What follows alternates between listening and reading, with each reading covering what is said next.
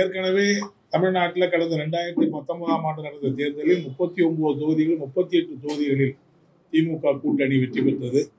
அதைவிட ஒரு மடங்கு மேலும் அதிகமான வெற்றியை பெறுவதற்கு தான் வாய்ப்பு இருக்கிறது என்பதை நான் தெரிவித்துக் கொள்ள விரும்புகிறேன்.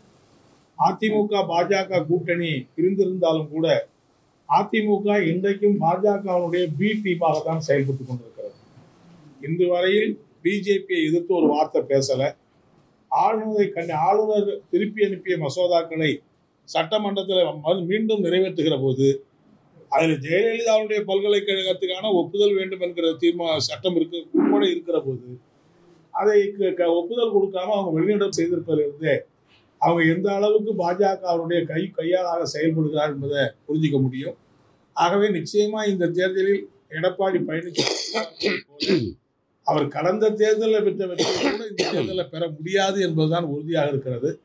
அதே மாதிரி ஏதோ சிறுபான்மை மக்களை வந்து அதிகமாக நாங்கள் பெற போகிறோம் சிறுபான்மை மக்களுக்கு ஆதரவாக இருக்கிறாங்களா சொல்கிறாங்க ஏற்கனவே முத்தலாக் சட்டத்தை திருத்தின போது அல்லது சிஏஏ சட்டத்தை நாடாளுமன்றத்தில் கொண்டு வந்த போது காஷ்மீரில் முந்நூற்றி எழுபது அந்த மாநிலத்தை துண்டாடுகிற சட்டம் கொண்டு பற்றி கொண்டு வந்த போதெல்லாம் முழுக்க முழுக்க ஒரு சின்ன ஆட்சேபனை கூட இல்லாமல் அதை ஆதரித்தது தான் அதிமுக. இதெல்லாம் சிறுபான்மை மக்கள் ஒன்றும் அவ்வளோ லேசாக மறந்துட மாட்டாங்க. எடப்பாடிக்கு வேணால் மறந்துருக்கலாம். அதே மாதிரி அவருடைய ஆட்சி காலத்தில் நடந்திருக்க கொடுமைகள்லாம் சொல்லி மாளாது. குருவிகளை சொல்கிற மாதிரி பதினஞ்சு தொழிலாளிகளை பதினஞ்சு பொதுமக்களை தூத்துக்குள்ளே சுட்டு கொண்டு ஒரு சிறு நடவடிக்கை கூட அதில் எடுக்காத ஒரு ஆட்சி தான் அதிமுக எடப்பாடி ஆட்சி என்பதை மக்கள் ஒருபோதும் மறந்துட மாட்டாங்க. ஆகவே நிச்சயமாக பாஜகவும் சரி அதிமுகவும் சரி எவ்வளவு அவங்க பிரச்சாரம் பண்ணாலும் அவங்க வெற்றி பெற முடியாது. எனவே தமிழ்நாட்டில் மீண்டும் திமுக தலைமையில் இருக்கக்கூடிய அந்த அணி மகத்தான வெற்றி பெறும். அதற்கு நாங்கள் முழுமையாக பணியாற்றுவோம். அதே மாதிரி எல்லா கட்சிகளும் தேர்தல் உடன்பாடு தொகுதிகள் வருகிற போது நாங்கள் ஏற்கனவே ரெண்டு தொகுதிகளை பெற்று வெற்றி பெற்றிருக்கோம் அந்த ரெண்டு தொகுதிகளையும் நாங்கள் வற்புறுத்துவோம். அதே மாதிரி எல்லா கட்சிகளும் கூடுதலாக இடம் கிடைக்கணுங்கிற எதிர்பார்ப்பு இருக்கிற போது எங்களுக்கும் அந்த எதிர்பார்ப்பு இருக்கத்தான் செய்யும். நாங்களும் கூடுதலான தொகுதிகளை கேட்போம் என்பதையும் ஆனால் கடைசியாக வந்து ஒரு சுமூகமான உடன்பாடு வரும். அவங்க என்ன நினைக்கிறாங்கன்னா இந்த தொகுதி உடன்பாட்டில் ஏதோ புரிஞ்சுக்கிட்டு போயிடுவாங்க அப்படிலாம் வராது.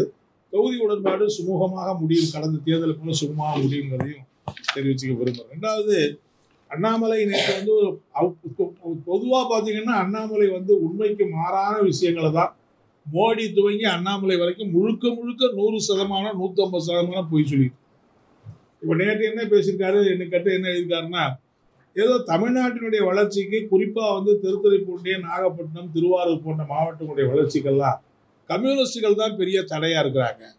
அங்கே எந்த தொழிற்சாலையும் வராமல் நாற்பது வருஷமாக இருக்காங்க. அண்ணாமலை மூளைக்கு ஒன்று உரவே உரைக்கவே உரைக்காதான்னு எனக்கு தெரியல. காவிரி டெல்டா மண்டலங்கள் என்பது பாதுகாக்கப்பட்ட பசுமை மண்டலமாக ஏற்கனவே சட்டம் போட்டிருக்கும் அந்த மண்டலத்தில் தொழில் துவங்குவதற்கு மோடி அரசு மேல் அதாவது ஹைட்ரோ கார்பன் திட்டத்தை அறிமுகப்படுத்துகிற போது மீத்தியன் திட்டத்தை அறிமுகப்படுத்துகிற போது இப்போது கூட ஆஃப்ஷோர் அந்த இதை வந்து அறிமுகப்படுத்துகிற போது அந்த திட்ட அந்த மண்டலத்தை இதுக்கெல்லாம் பயன்படுத்தக்கூடாது. அது பாதுகாக்கப்பட்ட பசுமை மண்டலமாக இருக்க வேண்டும் என்று சட்டம் நிறைவேற்றி அந்த சட்டம் இப்போ அமுலில் இருக்கு.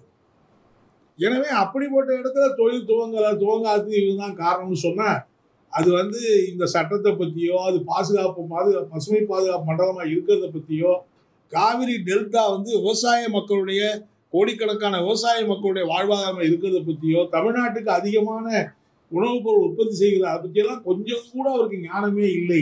ஒரு ஞான சூன்யமாக அண்ணாமலை பேசிக்கிட்டு இருக்காருங்கிறது தான் நான் இதை வந்து சொல்ல விரும்புறது. இந்த இன்னும் சொல்ல போனால் நான் வந்து அண்ணாமலைக்கு பகிரங்கமான வேண்டுகோள் விடுறேன். தமிழ்நாட்டு வளர்ச்சிக்கு யார் அதிகமாக பணியாற்றி இருக்கிறார்கள்? கம்யூனிஸ்டுகளா பிஜேபியா அல்லது ஜனசங்கமா ஏற்கனவே என்பதை பகிரங்கமா மேடையில் விவாதிக்க அவர் தயாரா என்பதை நான் இந்த நேரத்தில் கேட்டுக்க விரும்புகிறேன் தமிழ்நாட்டு வளர்ச்சிக்கு கோயம்புத்தூரோ நெய்வேலியோ திருச்சி பெல்லோ இதெல்லாம் கொண்டு வந்ததுல கம்யூனிஸ்டுகளுக்கு மகத்தான பங்கு இருக்கு என்பதை வரலாற்றில் யாரும் மூடி மறைக்க முடியாது என்பதை நான் சொல்லிக்க விரும்புகிறேன்